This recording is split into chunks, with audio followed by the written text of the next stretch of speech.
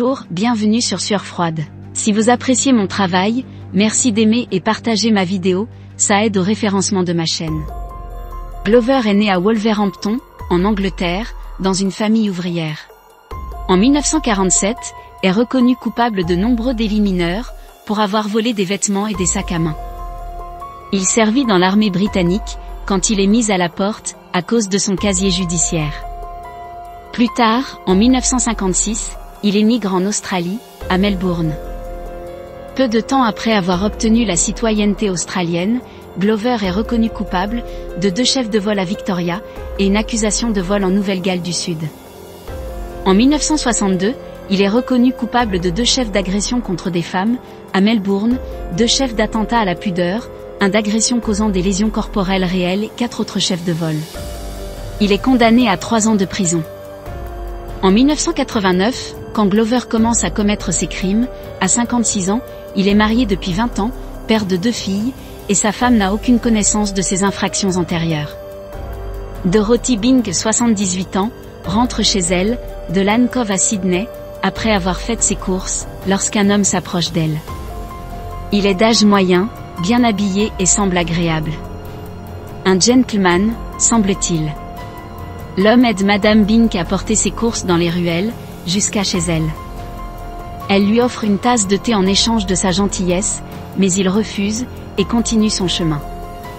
Plus tard dans l'après-midi du 2 novembre 1989, dans cette même ruelle, ce même homme, matraque Margaret Paud, âgée de 85 ans, à l'arrière de la tête. Le corps de la femme, est retrouvé dans une mare de sang. Ses vêtements ont été réarrangés, ses chaussures placées à ses pieds. Son sac à main, volé.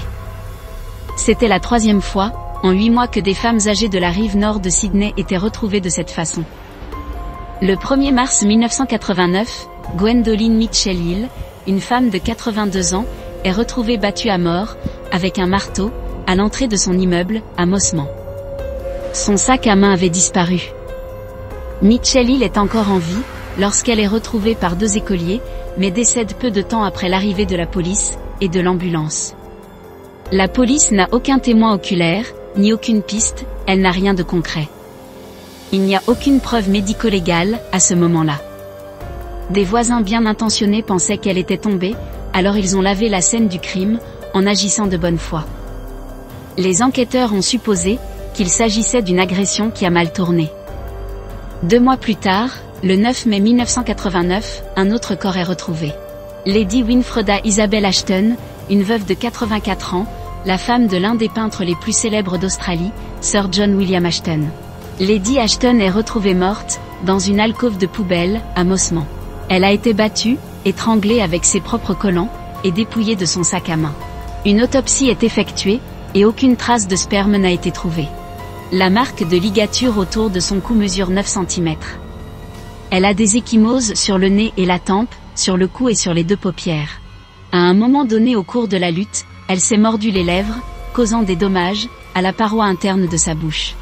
La bague en diamant de la victime, est toujours présente, suggérant qu'elle n'a pas été tuée pour de l'argent.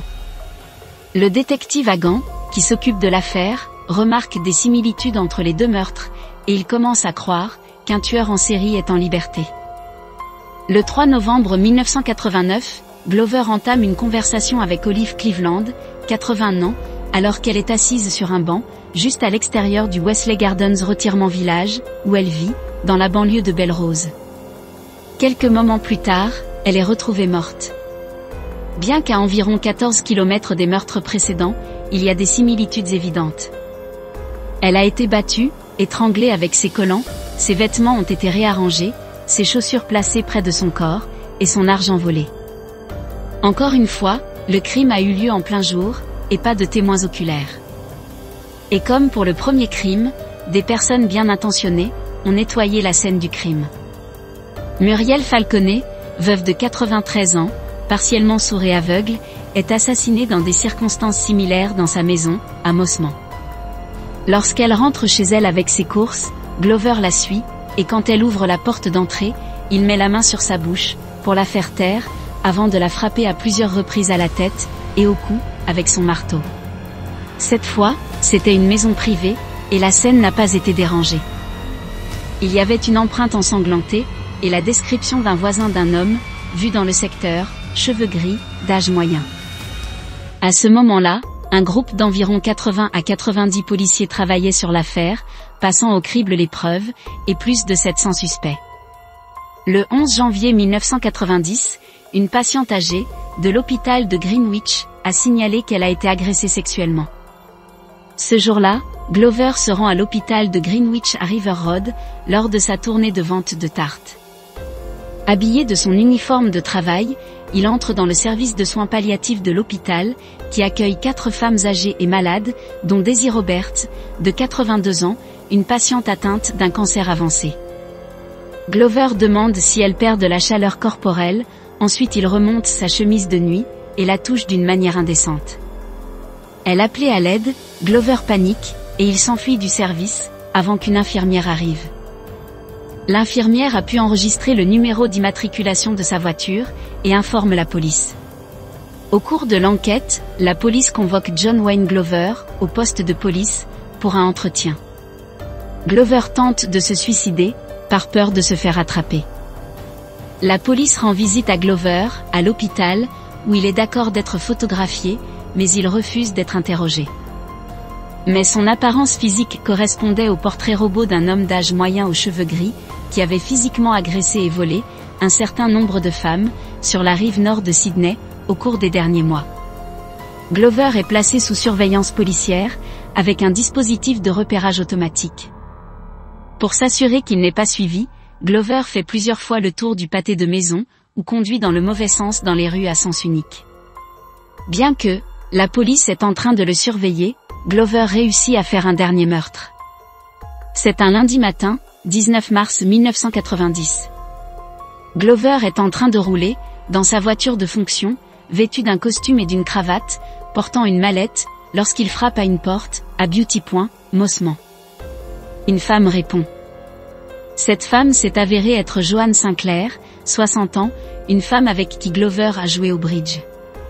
Les heures passent, les détectives inquiets sont entrés dans la maison, ils trouvent le corps de Sinclair dans le couloir, allongé dans une mare de sang, des collants noués autour du cou.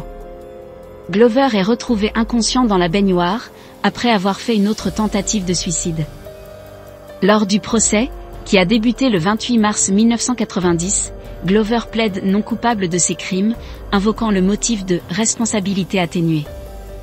En d'autres termes, la responsabilité de l'accusé au moment des meurtres était considérablement altérée par un trouble mental.